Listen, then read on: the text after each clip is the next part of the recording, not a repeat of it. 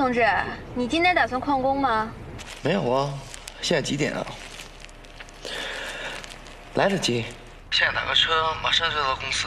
你快点下来吧，我就在你家楼下了。什么？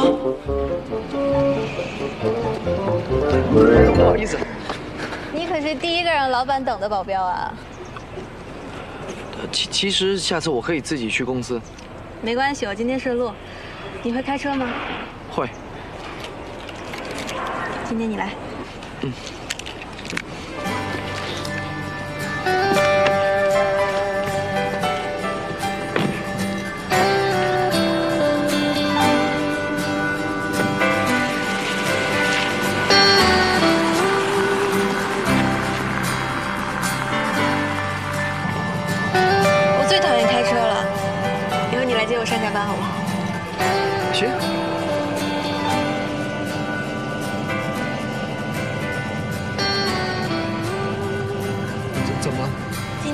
酒会，你这身衣服有点不太合适。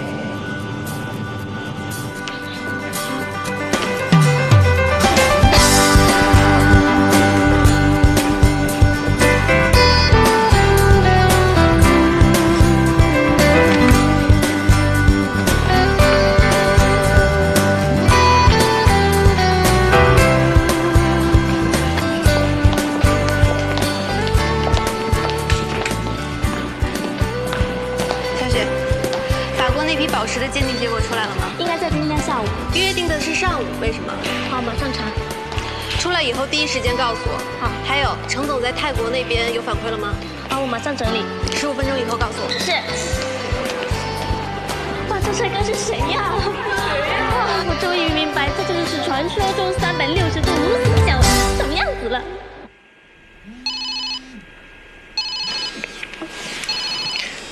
你老公。生哥。你在哪儿呢？马上上我这来一趟。知道了，马上过去。嗯，必须得走，肯定有事儿。办完事我马上回来陪你啊，好不好？听话，哦。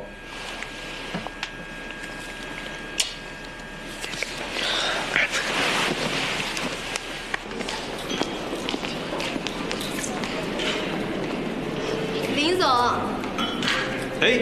静静，哎，我给你介绍一下啊，这位就是白静小姐，白润山老板的宝贝女儿。这位是王总，你好。罗总，你好。你们先聊吧。哎，李总，朋友。好。哎，哎呀，王总。这个是你的叔叔，他是我爸多年的好朋友。哥，哥，你怎么才来啊？天江。我听大哥说，前几天你差点出事儿，怎么那么不小心呢？对呀，也不知道他惹了谁了。哎，哥，我给你介绍一下，他就是上回救我的那个男孩，他叫高俊飞。哦，我听说了，幸亏有你在，要不然静静就真出事儿了。万分感谢啊！这是我应该做的。我是白天，静静的二哥。你好。他因为我都被警校开除了。你是警校的，现在不是了。好，尊敬的各位贵宾，尊敬的各位先生们、女士们，大家好！非常感谢大家在百忙之中光临我们双木林的拍卖会。老公，你别生气了嘛。什么就不生气呀？几点了？你看几点了？所有人都等你。我大哥怎么当？那我打扮漂亮，不还是为了你有面子吗？谁不认识你？谁没见过你？打扮成这样干嘛呀？你给谁看呢？你说几点了？你看看几点了？人约我几点？神经病！大家都是双木林多年以来的老朋友、老伙计，没有大家就不会有双木林今天的成绩。林伟群在此感谢大家。今天我还想感谢一个人，没有他就不会有双木林的今天，没有他也就不会使我懂得慈善对于人生的意义。他就是我们珠宝行业赫赫有名的大亨白荣山，白先生。遗憾的是，白先生因为出国公干，没能来到我们酒会的现场。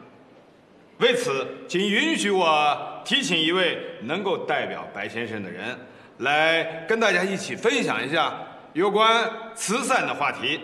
她就是我们白荣山先生的女儿白静小姐。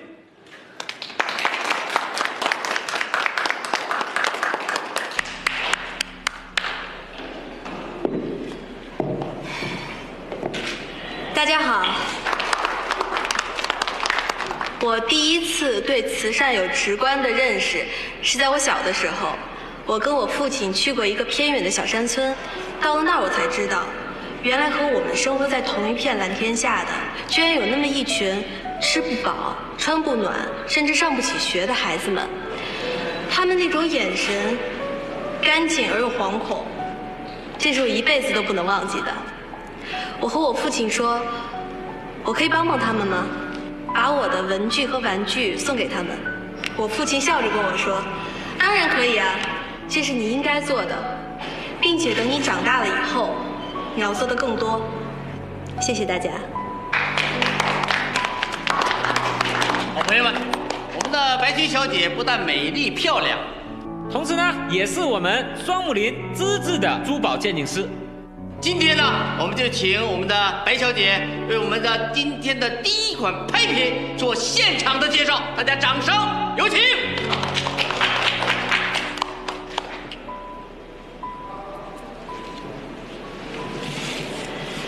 这款是一颗产自斯里兰卡的宝石级刚玉，也就是大家平时所说的蓝宝石。老公，我错了吗？知道错少干。哦，老公，哎，下次肯定不这样。还想有下回啊？原来这样吗？你少过来。哎，你看你啊，我不是让他打。知道错了就。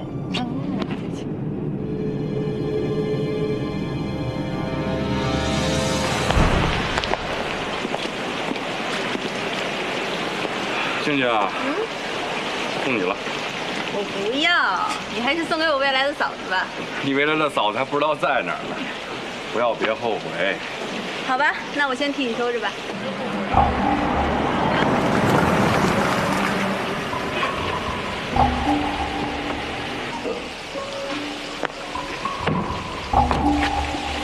哥，嫂子，哎，你们怎么在这儿呢？你们结束了？几点了都才来？等你等的黄花菜都凉了，幸亏有我二哥在。看见没有？都是等你抹抹抹来抹去的，抹什么抹呀？几点了？人都结束了。哎，那个谁啊，你去把静静给我送走啊！我跟二哥说点事儿。走吧。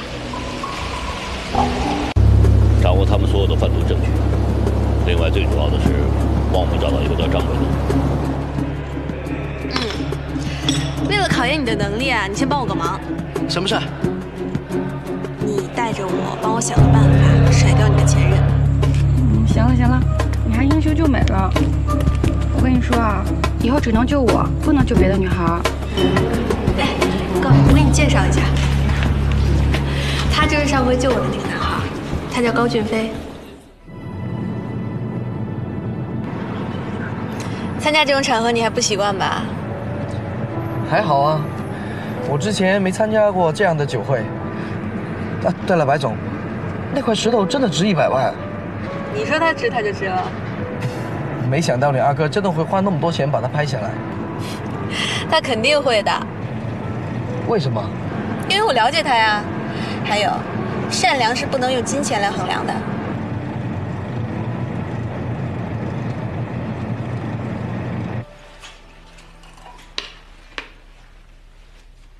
这个肥仔坤胆子也够大的，居然……他要是想死，我就不拦着他。他身边有我的人，我随时可以干掉他。我跟你说，我现在想到他我就恶心。只要静静没事就好。这件事你可千万不能冲动。哎呀，行了，你就别管了，我知道了。哎，对了，你见过静静身边那小子了吧？就是被警校开除那个。对呀，就是那高俊飞。我觉得这小子有问题。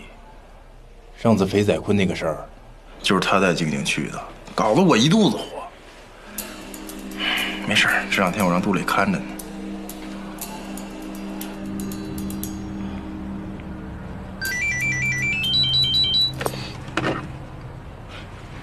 喂喂，盛哥。喂，磊哥，你那边什么情况？呃，没事我一直在在这盯盯着呢，什么事都没有。你放放心，他妈放屁呢吧你！啊，我刚刚看到他，你是不是有病啊？啊，你能不能长点心？盛哥，哎哎，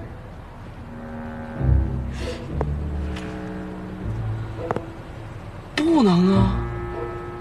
我一直在在这看着呢。废物！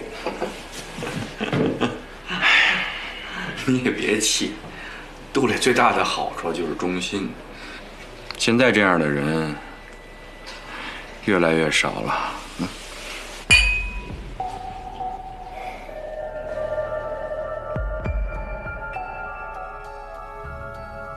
那个高俊飞真的是被警校开除的吗？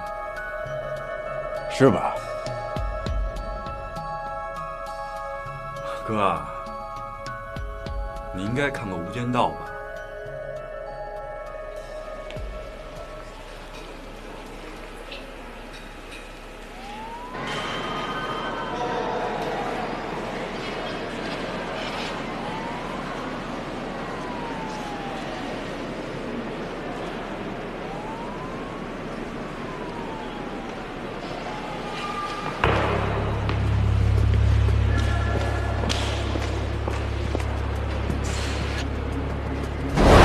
是想办法打入白家，掌握他们所有的贩毒证据。另外，最主要的是帮我们找到一个叫张伟的。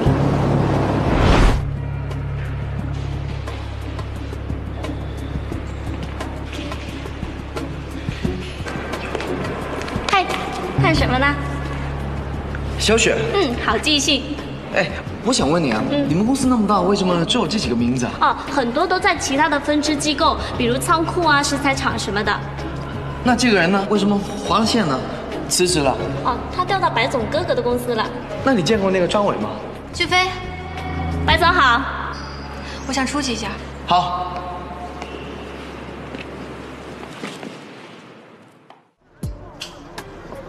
磊哥，哎。啊，俊飞，来来来来来，坐坐坐坐，这家店特别上档次，你知道吧？你看小红沙发什么什什么什么的啊，你尝尝这个。哎，行，谢谢。特别好好好吃啊，好喝。怎么样啊？跟白白白总累不累？不累啊，今天上午一直在公司待着。啊，上午就去了。对啊，白总一大早就来。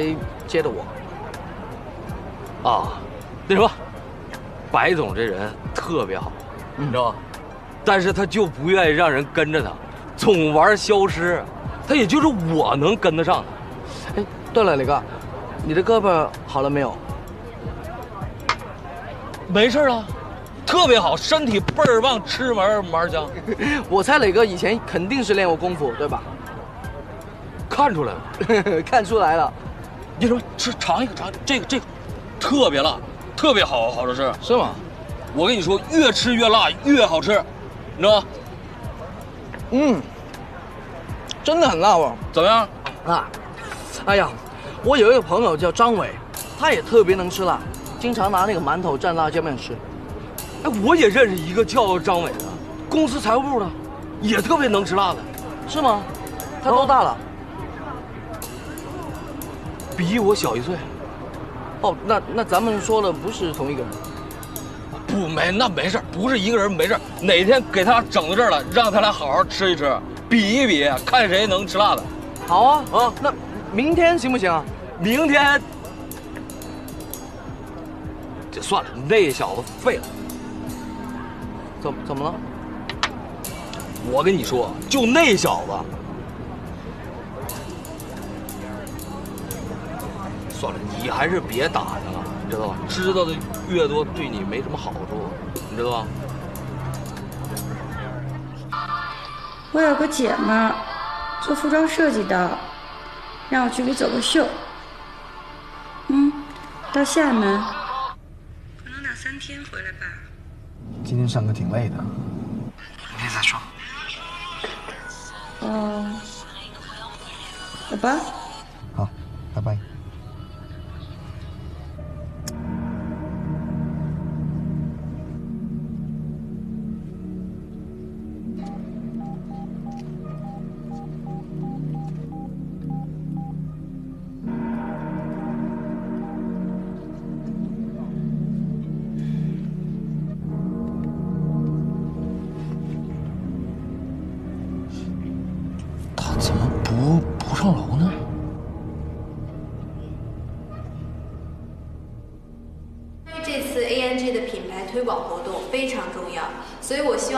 够全力以赴。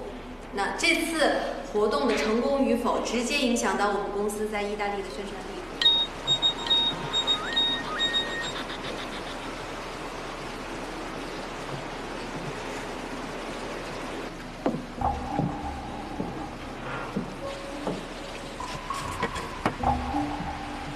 你谁呀？我是白总的保镖。保镖？我以前怎么没见过你？哦，我我新来的。啊，你什么时候回来的？白总，我刚到。哎，介绍一下，这位是我们公司的副总程峰，这位是高俊飞，我的。保镖嘛，刚才他已经跟我说过了。没办法，你出差这段时间实在发生了太多事儿。白总啊，啊今天你有别的安排吗？没有啊，怎么了？呃，我有点事，想出去一趟。好啊，你开我的车去。谢谢。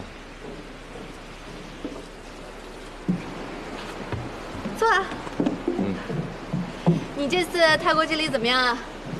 挺好的。对了，我给你带了一件礼物。谢谢。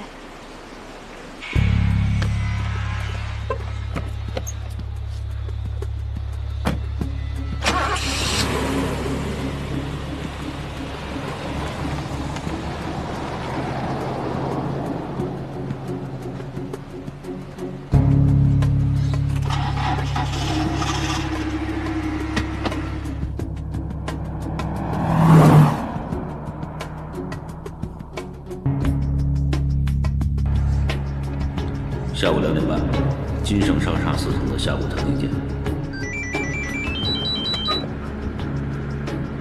哎，盛哥，那小子不知道他要去哪儿啊？我我一直盯盯着呢。哎，好，放放心，盛哥。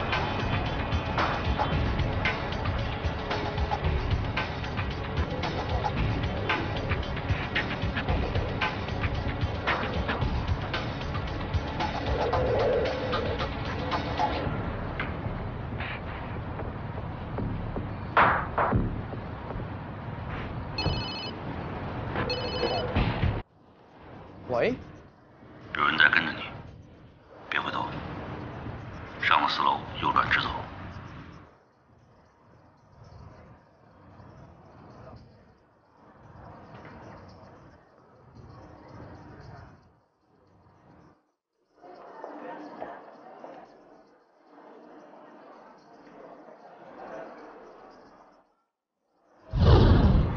那边有些散座，坐那儿等摆脱的机会，别挂电话。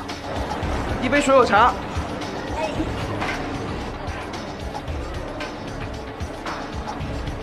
先生您好，欢迎光临，请随便看看。我先挂了。你好心等您的水果茶，请慢用。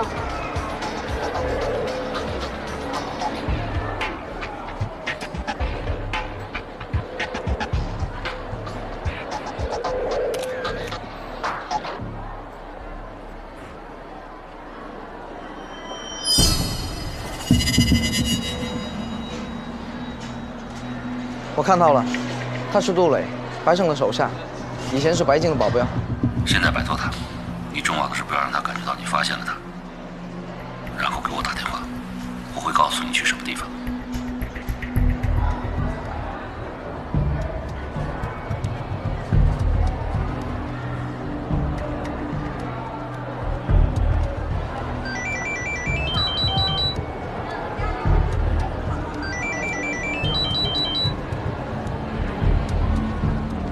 喂，磊哥。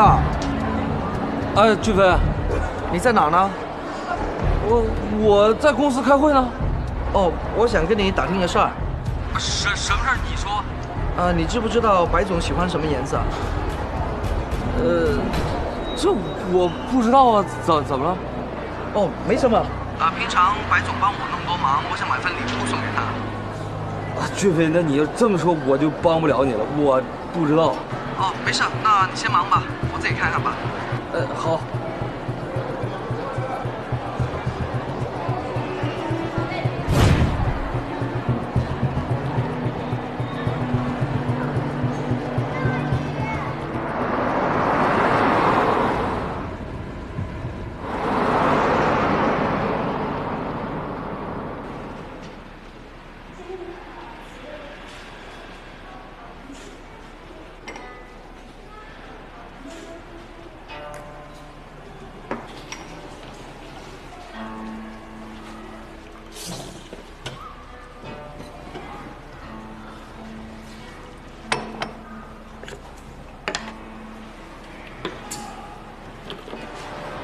有什么线索吗？目前确认的是，张伟曾经在白景公司的财务部工作，之后被调到白省的公司也是做财务，但中间出现什么变故就暂时不清楚。这些都是我跟杜磊聊天的时候知道的。